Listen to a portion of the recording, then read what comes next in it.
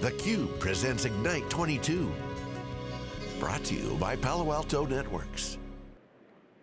Good morning, everyone. Welcome to theCUBE. Lisa Martin here with Dave Vellante. We are live at Palo Alto Networks Ignite. This is the 10th annual Ignite. There's about 3,000 people here excited to really see where this powerhouse organization is taking security. Dave, it's great to be here. Our first time covering Ignite.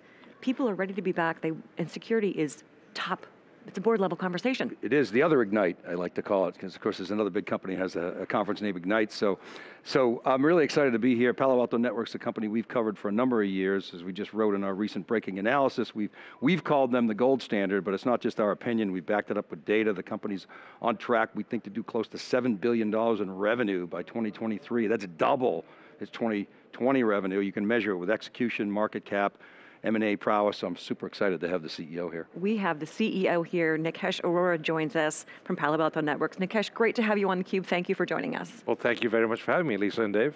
It was great to see your keynote this morning. You said that, you know, fundamentally, security is a data problem. Well, these days, every company has to be a data company. Grocery 100%. stores, gas stations, car dealers. How is Palo Alto Networks making customers, these data companies, more secure? Well, Lisa, you know, I've only done cybersecurity for about four, four and a half years. So when I came to the industry, um, I was amazed to see how security is so reactive as opposed to proactive. We, we should be able to stop bad threats right as they're happening. But I think a lot of threats get through because we don't have the right infrastructure and the right tooling and right products in there. So I think we've been working hard for the last four and a half years to turn it around so we can have consistent data flow across an enterprise and then mine that data for threats and anomalous behavior and try and protect our customers. You know, uh, the problem, I wrote this uh, this weekend, the problem in cybersecurity is well understood. You put up that Optiv graph and there's like 8,000 yes. companies yes. and I think you mentioned your keynote on average, you know, 30 to 40 tools, maybe 50, mm -hmm. at least 20 yes. from the folks that I talked to. So Okay, great, but actually solving that problem is not trivial. Uh, to be a consolidator, I mean, everybody wants to consolidate tools. So uh, in your three to four years in security, as you well know, it's, you can't fake security. It's a really, really challenging topic. So when you joined Palo Alto Networks and you, you heard that strategy, I know you guys have been thinking about this for some time, what did you see as the challenges to actually executing on that, and how is it that you've been able to sort of get through that knothole? So Dave, you know, it's interesting, if you look at the history of cybersecurity, uh, I call them the flavor of the decade. A flavor, you know, a new threat vector gets created, very large market gets created, a solution comes through, people flock, you get four or five companies which chase that opportunity, and then they become leaders in that space, whether it's firewalls or endpoints or identity, and then people stick to their swim lane. The problem is, that's a very product-centric approach to security. It's not a customer-centric approach. The customer wants a more secure enterprise. They don't want to solve 20 different solution problems with 20 different point solutions, but that's kind of how the industry has grown up, and it's been impossible for a large security company in one category to actually have a substantive presence in the next category. Now what we've been able to do in the last four and a half years is, uh, you know, from our firewall base, we had resources, we had intellectual capability from a security perspective, and we had cash. So we used that to pay off our technical debt. We acquired a bunch of companies. We created capability. In the last three years, uh, four years, we've created three incremental businesses which are all on track to hit a billion dollars in the next 12 to 18 months. Yeah, so it's interesting, on Twitter last night we had a little conversation about acquirers and who was a good, who was not so good. There was, there was Oracle, they came up actually very high, they'd done pretty, pretty good job. VMware was on the list, IBM, Cisco, ServiceNow. And if you look at IBM and Cisco's strategy, they tend to be very services heavy, mm -hmm. right? How is it that you have been able to, you mentioned get rid of your technical debt, you invested in that. I, wonder if you could, it, was it the, the cloud, even though a lot of the cloud was your own cloud, was that a difference uh, in terms of your ability to integrate? Because so many company, companies have tried it in the past. Oracle, I think, has done a good job, but it took them 10 to 12 years you know, to, to get there. What was the sort of secret sauce? Is it culture, or is it just great engineering? It's a, thank you for that. I think, look, it's, it's a mix of everything. First and foremost, you know, there are certain categories we didn't play in, so there was nothing to integrate. We built a capability in a category. In automation, we didn't have a product. We acquired a company, it's a net new capability.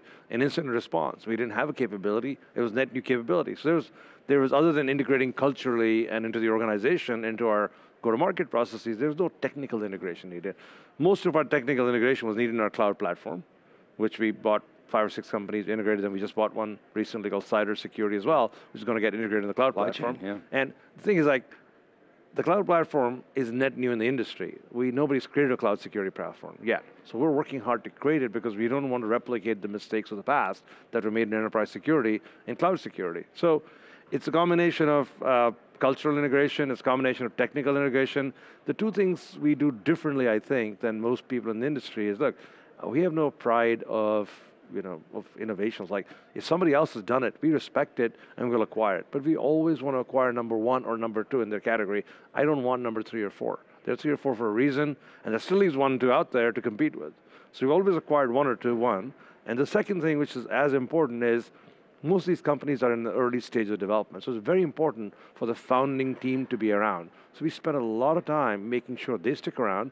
We actually make our people work for them. My principle is listen, if they beat us in the open market with all our resources and our people, then they deserve to run this as opposed to us. So most of our new product categories are run by founders of companies acquired. So a little bit of Jack Welch, a little bit of Frank Slootman is you know always deference to the to the founders. But go ahead, Lisa. So speaking of, of cultural transformation, you were mentioning in your keynote this morning. There's been a significant workforce mm-hmm. transformation mm-hmm. at Palo Alto Networks. Yes. Talk a little bit about that because that's a big challenge for many organizations to achieve. Sounds like you've done it pretty well. Well, you know, uh, my old uh, boss, Eric Schmidt, used to say, revenue solves all known problems, um, which kind of, you know, is part joking, part true. But you know, as, as uh, Dave mentioned, we've doubled or two and a half times our revenues in the last four and a half years. That allows you to grow. That allows you to increase headcount. So we've gone from four and a half thousand people to 14,000 people. Good news is that's 9,500 people are net new to the company. So you can hire a whole new set of people who have new skills, new capabilities, and there's some attrition in the 4,500, some part of that turns over in four and a half years. So we effectively have 80% net new people, and the people we have who are there from before are amazing because they've built a phenomenal firewall business. So it's kind of been right-sized across the board. It's very hard to do this if you're not growing. So right. you got to focus on growing. It's like winning in sports. So Speaking of firewalls, I got to ask you: Do self-driving cars need brakes? So if I got to shout out to my friend Zeus Kerravala, it's like that's that's his line about why you need firewalls, right? Yes. I mean, you mentioned it in your keynote today. You said it's the number one question that you get. And, and I don't get it why industry observers don't go back and say this is, this is ridiculous. The network traffic is doubling or tripling. in fact, I, I, gave an interesting example. We shut down our data centers, as I said. We are all on Google Cloud and Amazon Cloud. And then you know, our internal team comes and said, we didn't want a bigger firewall. I'm like, why do you want a bigger firewall? We shut down our data centers. Says, well, the traffic coming in and out of our campus has doubled. We need a bigger firewall. So you still need a firewall, even if you're in the cloud. So I want to come back to the M&A strategy. My, my question sure. is, can you be both best of breed and develop a comprehensive suite? Number part one and part one A of that is, do you even have to? Because generally suites win out over best of breed. But how do you how do you respond? Well, you know, this is this age-old debate, yeah. and people people get trapped in that. I think in my mind. Um, and let me try and expand the analogy, which I tried to do up in my keynote. You know, let's assume that Oracle, Microsoft Dynamics, and Salesforce did not exist okay? And you were running a large company of 50,000 people, and your job was to manage the customer process, which is easier to understand than security. And I said, okay, guess what? I have a quoting system and a lead system, but the lead system doesn't talk to my quoting system. So I get leads, but I don't know who those customers. are. Then I write codes for a whole new set of customers and I have a customer database. Then when they come as purchase orders, I have a new database with all the customers who've bought something from me. And then when I go give them licensing, I have a new database. And when I go have customer support, I have a fifth database. And there are customers in all five databases. You'll say, Nikesh, you're crazy. You should have one customer database. Otherwise, you're never going to be able to make this work. But security is the same problem. Mm. I should, I need consistency in data from soup to nuts. If it's in cloud, if you're writing code, I need to understand the security flaws before they go into deployment, before they go into production. We somehow ridiculously have bought security like IT. Now the difference between IT and security is IT is required to talk to each other. So a Dell server and HP server work very similarly. But a Palo Alto firewall and a Check Point firewall, a Fortinet firewall work fundamentally differently. And then how that transitions into endpoints is a whole different ballgame. So you need consistency in data, as Lisa was saying earlier, it's a data problem. You need consistency as you traverse through the enterprise, and that's why that's the number one need. Now, when you say best of breed, best of breed is fine if it's a specific problem that you're trying to solve.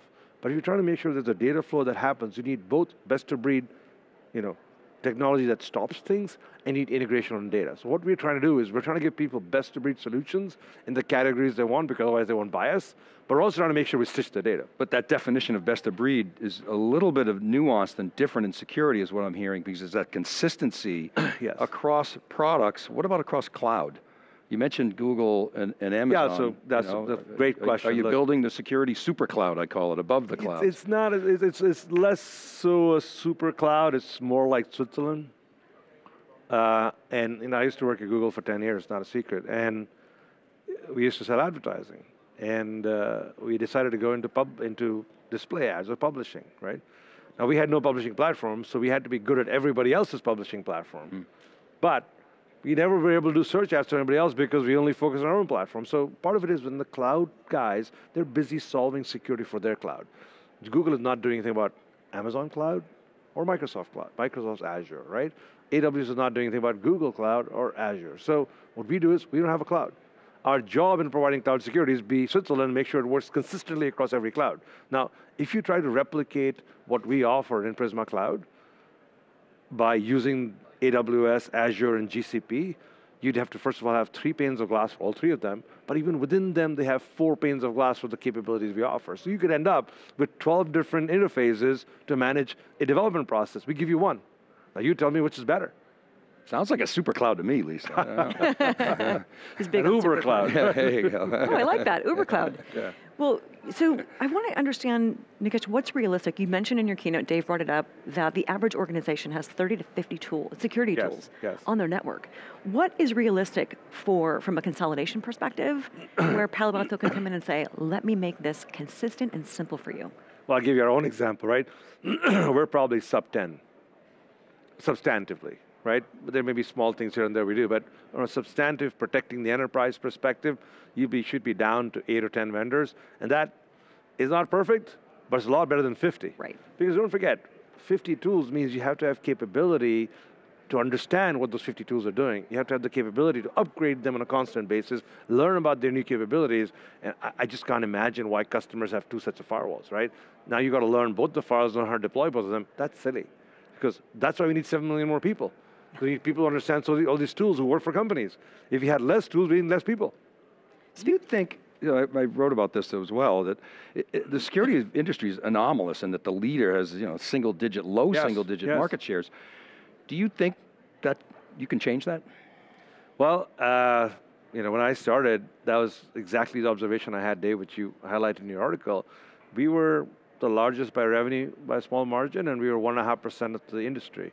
Now we're closer to three, three to four percent, and we're still, at, you know, like you said, going to be around seven billion dollars. So, you know, I see a path for us to double from here and then double from there. Mm. And hopefully, as we keep doubling, at some point in time, you know, I, I'd like to get to double digits to start with. One of the things that, that I think has to happen is this has to grow dramatically, the ecosystem. I wonder if you could talk about the ecosystem and your strategy there. Well, you know, it's a matter of perspective. I think we have to get more penetrated in our largest customers. So we have, you know, 1,800 of the top 2,000 customers in the world are Palo Alto customers, but we're not fully penetrated with all our capabilities in the same customer set. So yes, the ecosystem needs to grow, uh, but the pandemic has taught us the ecosystem can grow wherever they are without having to come to Vegas, which I don't think is a bad thing, to be honest. Uh, so the ecosystem is growing. You are seeing new players come to the ecosystem. Five years ago, you didn't see a lot of system integrators and security. You didn't see security offshoots of telecom companies. You didn't see the Optivs, the WWTs, the Presidios of the world make a concerted shift towards consolidation or services, and all that is happening. Hmm. As we speak today, in the audience, you will find people from Google, Amazon, Microsoft are sitting in the audience. People from telecom companies are sitting in the audience. These people weren't there five years ago. So you are seeing mm-hmm. the ecosystem is adapting.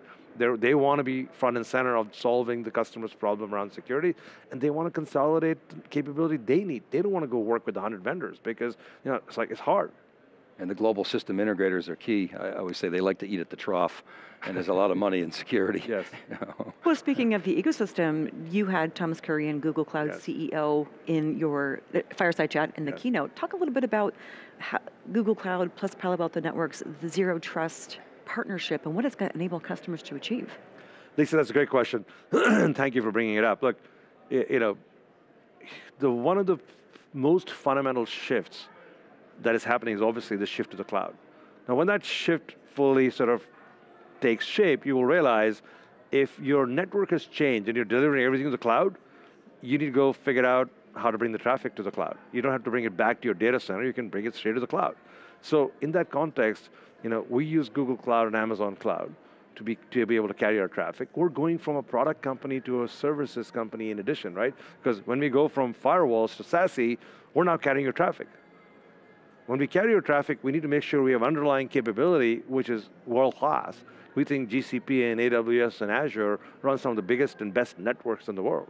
So our partnership with Google is such that we use their public cloud, we sit on top of their cloud, they give us increased and enhanced functionality so that our customer SASE traffic gets delivered in priority anywhere in the world. They give us tooling to make sure that there's high reliability. So, as, you know, we partner. They have BeyondCorp, which is their version of Zero Trust, which allows you to take unmanaged devices with browsers. We have SASE, which allows you to have managed devices. So the combination gives our collective customers the ability for Zero Trust. Do you feel like there has to be more collaboration within the ecosystem, the security you know, landscape, even amongst competitors? I mean, I think about Google acquires Mandiant. You guys have Unit 42. Should, should and will, like Wendy Whitmore, and maybe they already are, Kevin Mandia, talk more and share more data. If security is a data problem, is all yeah, this data I think, out there? I think the industry shares threat data, both uh, in private organizations as well as public and private contexts. So that's not a problem. Um, you know, the challenge with too much collaboration in security is you never know. Like, you know, the moment you start sharing your stuff with third parties, you go out of the security zone. Mm. Our biggest challenge is, you know, I can't, I can't trust a third party com competitor partner product. I have to treat it with as much suspicion as anything else out there because the only way I can deliver zero trust is to not trust anything. So collaboration and zero trust are a bit of odds with each other. Sounds like another problem you can solve. Nikesh, last question for you. Yes. Favorite customer example that you think really articulates the value of what Palo Alto is delivering? Look, you know, it's a great question, Lisa. Uh, I had this seminal conversation with a customer and I explained all the things we're talking about and the customer said to me, great, okay, so what do I need to do? I said, fun, you got to trust me because, you know, we are on a journey. Because in the past, customers have had to take the onus on themselves of integrating everything because they weren't sure a small startup will be independent, be bought by another cybersecurity company, or a large cybersecurity company won't get gobbled up and split into pieces by private equity because every one of the cybersecurity companies have had a shelf life.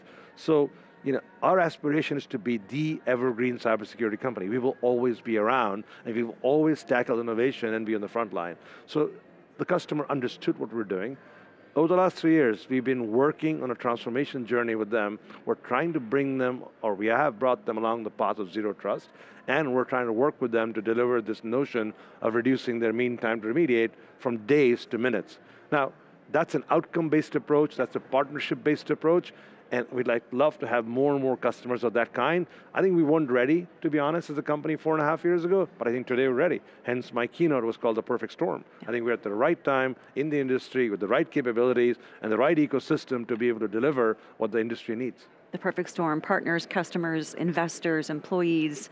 Nikesh, it's been such a pleasure having you on theCUBE. Thank you for coming to talk to Dave and me right after your keynote. We appreciate that and we look forward to two days of great coverage from your executives, your customers, and your partners. Thank you. Well, thank you for having me, Lisa and Dave, and pleasure. thank you for what you guys do for our industry. Our pleasure. For Nikesh Arora and Dave Vellante, I'm Lisa Martin. You're watching theCUBE live at MGM Grand Hotel in Las Vegas. Palo Alto Ignite 22. Stick around, Dave and I will be joined by our next guest in just a minute.